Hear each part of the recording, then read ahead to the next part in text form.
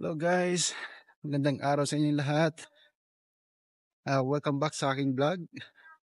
At habang kami ay papunta sa gym, ay may pag-uusapan tayo, no? Okay, so balik tayo sa pinag-uusapan natin. Hindi nga, hindi ko masabi-sabi. So, pag-uusapan natin is tungkol sa alin ba ang mas maganda sa pag-apply papuntang Poland?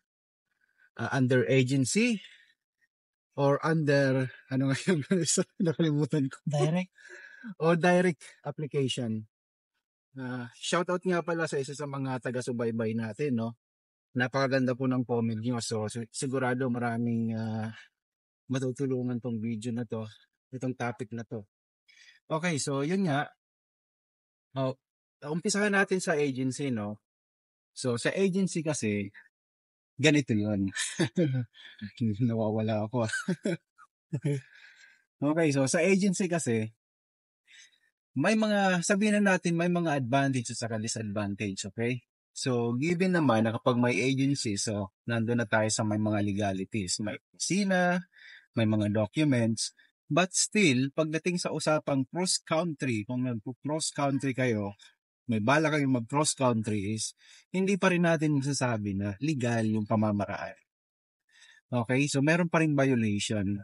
Especially sa ating mga Pilipino kasi dati nag-attend kami sa sa seminar ng uh, DMWD dito sa ano, DMW Department of Migrant Worker dito sa Poland. So yun nga nabanggit nila na pag mag-cross country ka is hindi safe lalo na sa mga kung mag-under ano ka, uh, mga agency or consultant.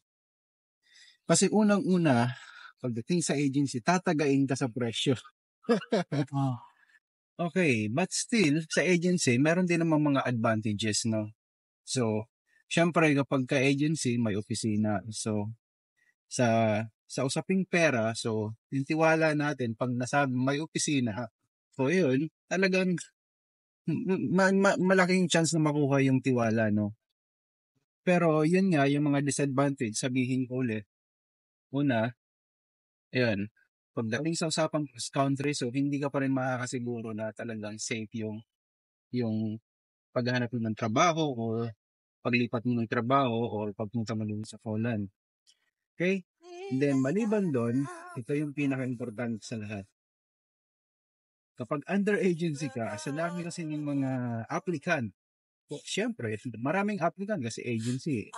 Pag agency, hindi naman, hindi ko naman, hindi ako mag-mention kung, hindi ako mag-mention ng name, no? So, pag agency, bigyan ko lang kayo ng idea. Maraming naka-line up. Which is, kapag isa kayo doon at pang 1,000 kayo sa mga naka-line up, so, alangan naman ikaw yung unahin. Siyempre, unahin yung mga naunang nagpasa ng application. Ibig sabihin, matagal yung processing. Yan. So, medyo may katagalan ang processing dahil sa ganong sistema, no? Okay, so, huwag na natin masyadong palalimin yung usapan. Basta, yun na yun, no? Bigyan ko lang kayo ng mga idea kung bakit kadalasan sa mga agency, matagal yung proseso. Okay, so dito naman tayo ngayon sa usapang direct. Okay, so real talk, yung tinatawag nating direct hire is hindi ibig sabihin no, na na yung katulad ng iniisip nyo na direct hire, no? Kundi, merong tao na tutulong sa inyo.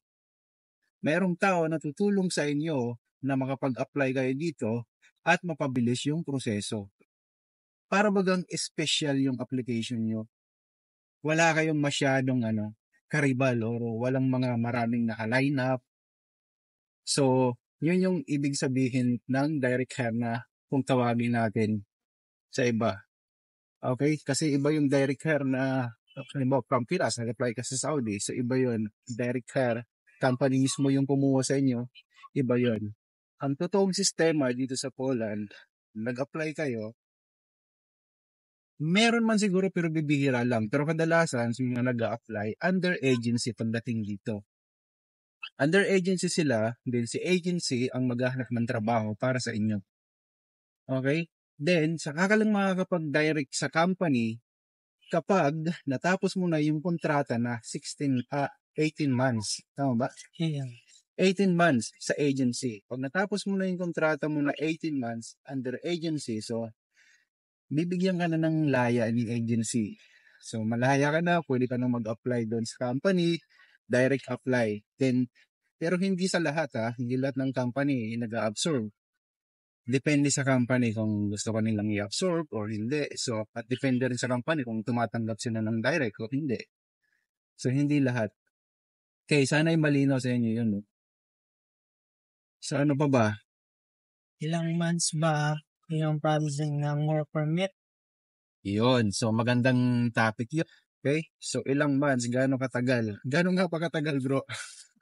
Kung mag-apply kayo sa amin, ang work permit nyo ay ah, mag-aantay kayo ng 2 to 3 months. Lalabas na yan. Tapos ipapadala namin yung work permit sa inyo at ah, doon natin ipaprocess ngayon yung visa nyo, visa Hmm. application nyo. sa ano, appointment for visa, Visa or visa oo. ako. Para magkaroon kayo ng appointment. Visa appointment sa embassy.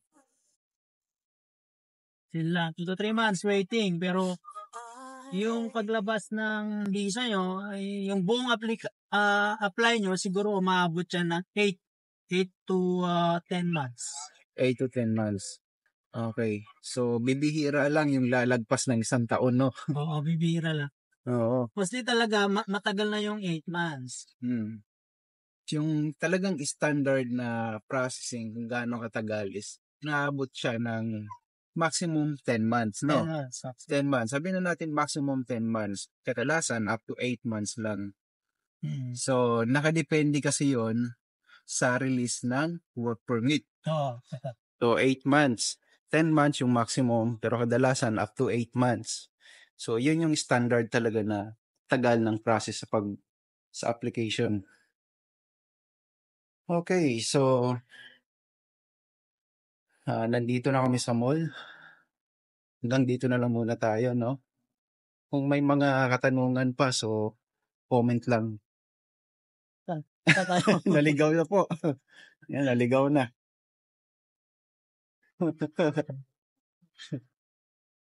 Ayan, so kung may mga katanungan pa, comment na lang no para sa next ah, ah, next video natin.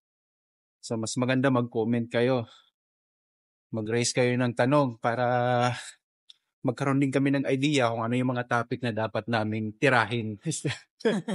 Tirahin. Oo, na dapat ano, sagutin. Okay, dapat pag-usapan. Oo. Okay, so hanggang dito na lang muna. Maraming salamat sa panonood and see you in my next video.